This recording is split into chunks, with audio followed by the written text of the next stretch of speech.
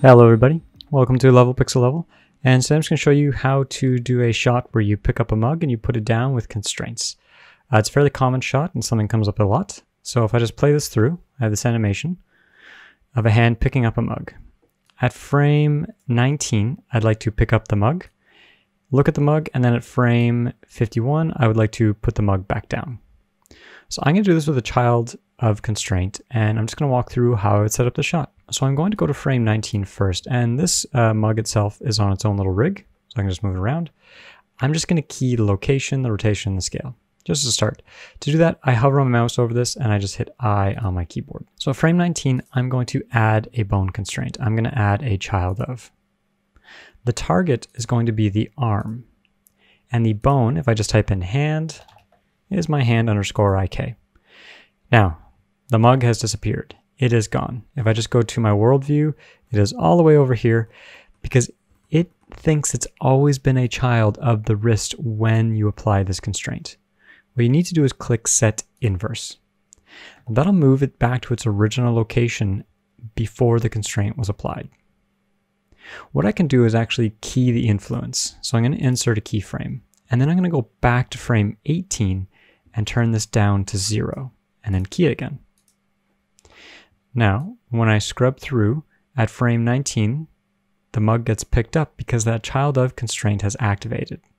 Okay, this is the tough part, is having it uh, drop on the table now and be left at frame 51.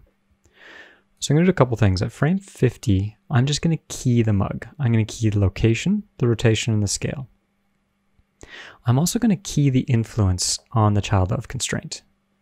Then I'm going to go forward one key to frame 51, now, if I just turn down the influence now, the mug is going to go back to its original location.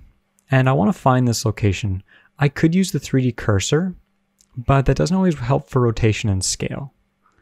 So it can work sometimes, but I want to show you a different way.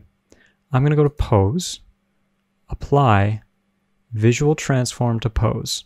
What that's going to do is going to take into account where the mug is in space with all the constraints lined up and change the values in the location to match that. So when I apply this, you'll see the mug shifts, but the location values in my transform also update.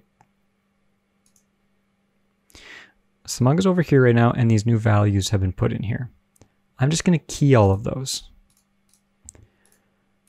But watch what happens when I turn the child of constraint off. When the child of constraint was on, it was almost getting a double transform because it had taken those new values and it was getting the constraint. This is where you need to turn it off. So you apply the visual transforms before you turn down the child of constraint. You'll see that as I go from frame 50 to 51, the mug stays perfectly static. And that's where I'm applying the visual transforms, turning the constraint down, and the hand leaves the mug. So it's a fairly simple shot, um, but it's something that you'll find you'll have to do a lot with constraints in Blender.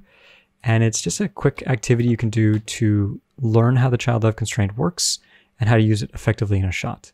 I see this constraint get used incorrectly all the time, and it can cause huge headaches when you're animating because it can seem like things are broken when they're really not. Like if I come to here and just left that at one and did set inverse, it would push the mug off into space again. As you set inverse again and again, you're breaking it every single time. All you're doing is adding a new pivot point for the original location. If I'm working on a show, I might not use child of constraint all that much.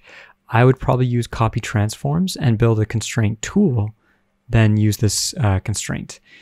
It works great for simple shots like this, but it can get complicated really quickly, especially if someone accidentally hits these buttons at the wrong time. Anyway, let me know if you have any questions in the comments below. A huge thank you to my patrons for supporting me and supporting this video, supporting the channel and supporting this content. Uh, it's because of you guys that I can keep making things. And if you want to check out some of the great content I'm putting up there as well, head on over to Patreon. You can see some of the advantages that patrons are getting. Talk to you next time. Bye bye.